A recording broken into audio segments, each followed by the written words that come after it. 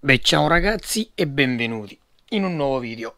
E allora oggi andremo a smontare e scoprire come funziona nel concreto questo ragazzi.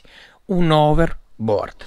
L'overboard fa parte della micromobilità elettrica è formato da due ruote motrici una e due un controllo elettronico interno che funziona da bilanciatore, cioè in base a come vai a piegare durante la marcia questo snodo, lui sceglierà diciamo di portarti a destra o a sinistra.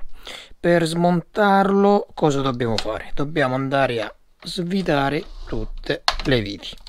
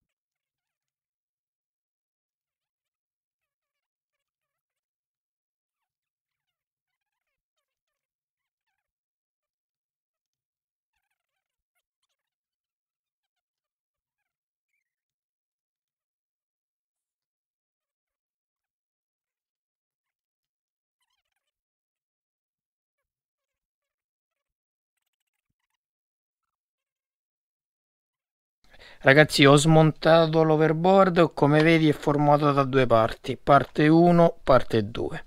E allora questi qui nel concreto cosa sono? Questo che vedi qui e qui sono le due schede che ehm, tengono dentro sia la parte di potenza, cioè la parte che pilota il motore, che la parte di bilanciamento, cioè questa scheda ha dentro dei sensori che in base all'inclinazione del piano fa andare avanti o indietro o più veloce o più lento il motore. Perciò ogni motore come vedi ha la sua scheda. In più qui c'è la batteria. Questo ovviamente è cinese come tutti i prodotti micromobilità e allora abbiamo 25.2 volt capacità 4,3 ampere 108 wattora. Eh, ovviamente sarà con celle 18650 il connettore di alimentazione è questo eccolo qui che esce dalla batteria e va alla scheda motore poi da qui si sdoppia e va a finire qui tramite questo passaggio 1 e 2 e qui va ad alimentare l'altra scheda motori che ha il sensore ovviamente e le pedane dove vado ad appoggiare i piedi hanno dei, dei, degli interruttori. Questi interruttori cosa fanno? Dicono all'elettronica che il piede 1 e il piede 2 sono posizionati sopra perché sono diciamo mh, degli interruttori che quando sentono il tuo peso eh, chiudono il circuito e l'elettronica sa che sei sopra perciò può azionarsi. Poi su questa parte c'è eh, l'interruttore on off più il connettore per la ricarica che è un 4 pin ma nel concreto come vedi sono soltanto due fili positivo e negativo.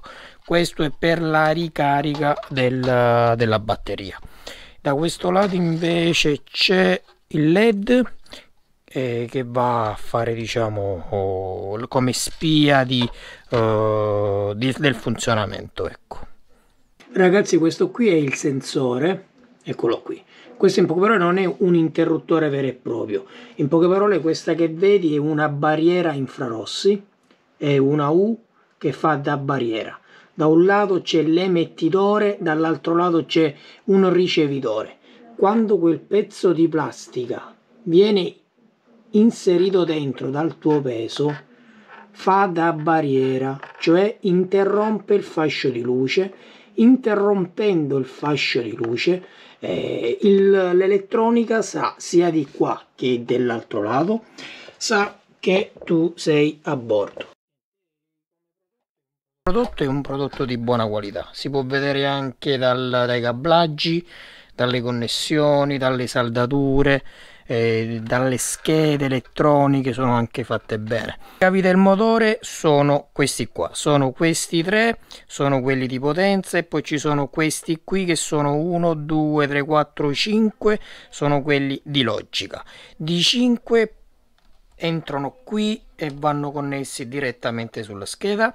E invece i tre più grandi che sono blu giallo e verde poi vengono saldati direttamente sulla scheda. Eccola qui. Verde giallo e blu.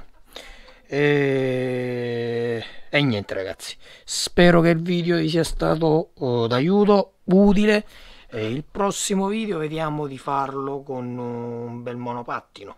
Lo smonteremo e andiamo a vedere appunto come funziona come, come vengono costruiti. Per questo video è tutto iscrivetevi al canale mi raccomando ciao e al prossimo video